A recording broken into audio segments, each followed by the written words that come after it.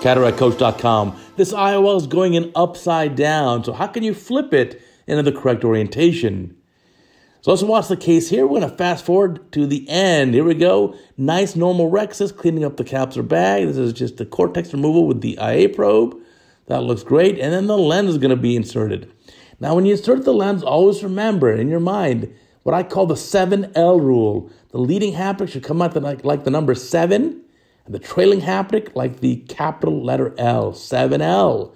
That's why I always say to myself as I'm injecting these types of lenses. So now, the surgeon here is going to fill the capsular bag with viscoelastic and get the lens injected. Now, what are the causes for inje- a lens going in upside down? It could be the way it was loaded. Maybe it was loaded upside down. There could be twisted in the injector tip, something. Let's watch carefully. So again, more viscoelastic, okay, eyes nicely filled. A pinch more, okay, we'll take it.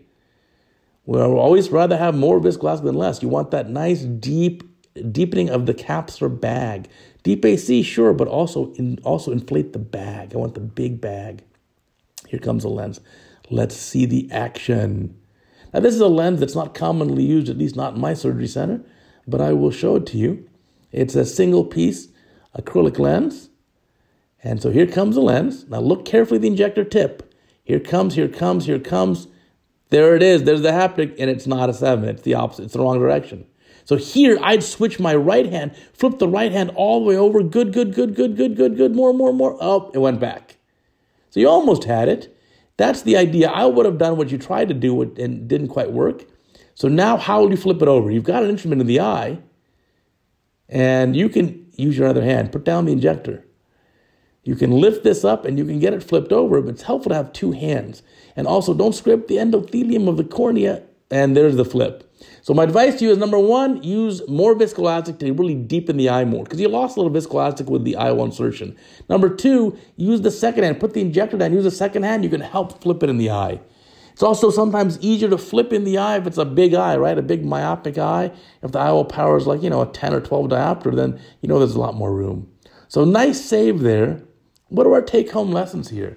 You definitely want to put the lens in the eye and in the correct orientation, and that means not upside down.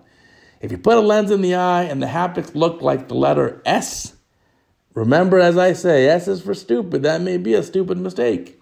You don't want it to look like the S ever. It should look like the letter Z or the number 2, or as I say, the leading haptic number 7 and the trailing haptic capital L, 7L rule. And as you're doing the lens, that's why you keep it in mind. As you're injecting of these lenses, think, where's the 7? 7L, 7L and that helps you keep the lens in the appropriate orientation. Now, this lens may be planar. There may not be a whole lot of downside to having in the eye upside down, other than it's a little embarrassing for the surgeon. Other lenses, though, are angled. There's an angulation between the haptic optic junction. And some lenses, if you put them in upside down, well, the effective lens position changes. And so these lenses are designed to work in the eye. Best optical performance is going to be putting the lens in in the correct orientation. So remember these rules as the lens goes in. You can't always count on your on your staff to have the lens perfectly injected. Ultimately, you, the surgeon, it's your responsibility. You're the captain of the ship there.